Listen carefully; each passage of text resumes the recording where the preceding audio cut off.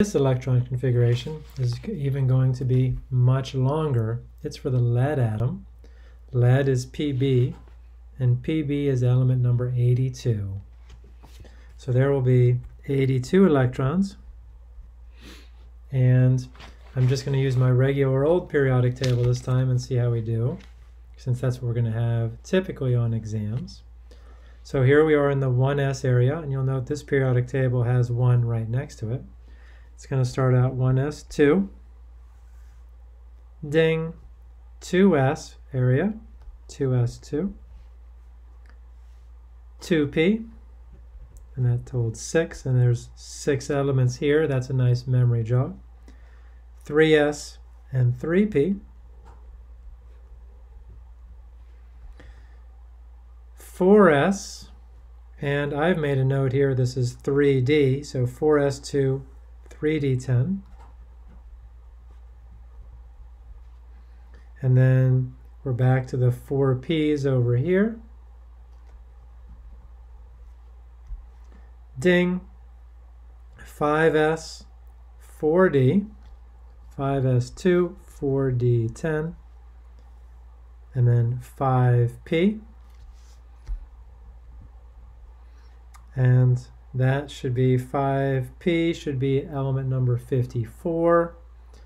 Let's see, so we just did 54. And that was 5s, 5s.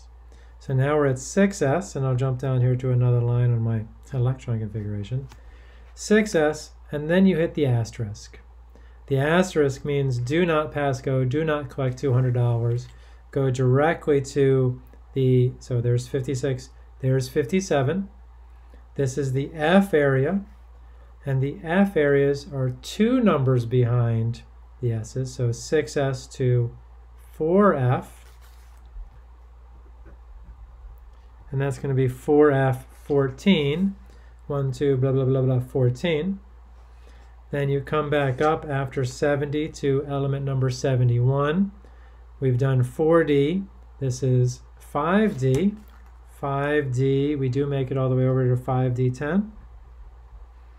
And then this is going to be the 6p area, 6p2. And that is the electron configuration of lead. It is long, um, yeah, but you have to know how to do it. Now, um, oh, but wouldn't it be great if there was a shortcut? And the shortcut is called the noble gas core. You can use a noble gas core for any of the noble gases, although I don't usually do it for helium. I usually start on neon.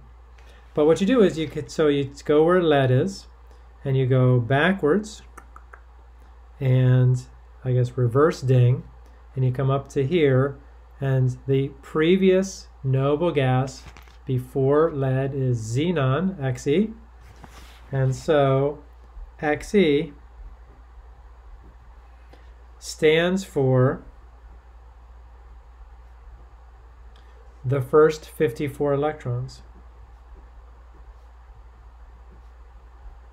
So instead of writing the first 54 electrons, which will end with 5p, so the first 54 electrons which I didn't plan that necessarily, but it does work out that it's these 54 electrons.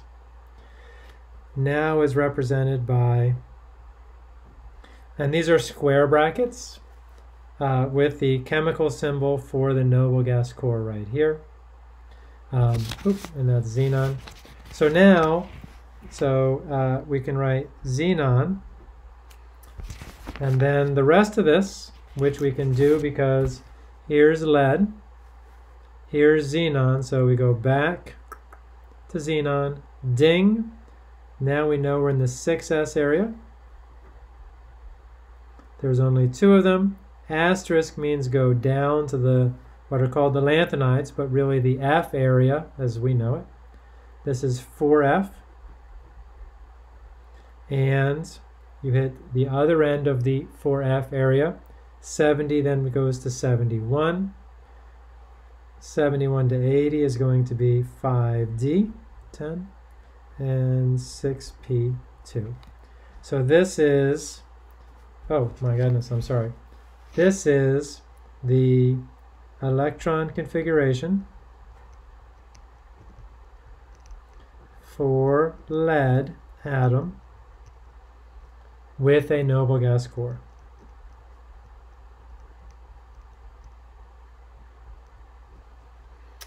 Now, uh, if I hadn't sorted everything, so if we go back and we did, uh, let's say, chlorine before,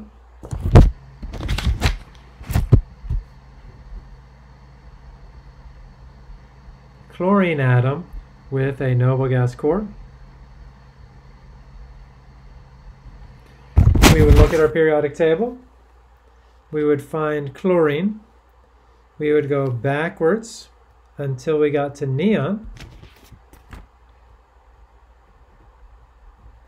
And we put neon's chemical symbol in square brackets. Then we would go 3s2, 3p5.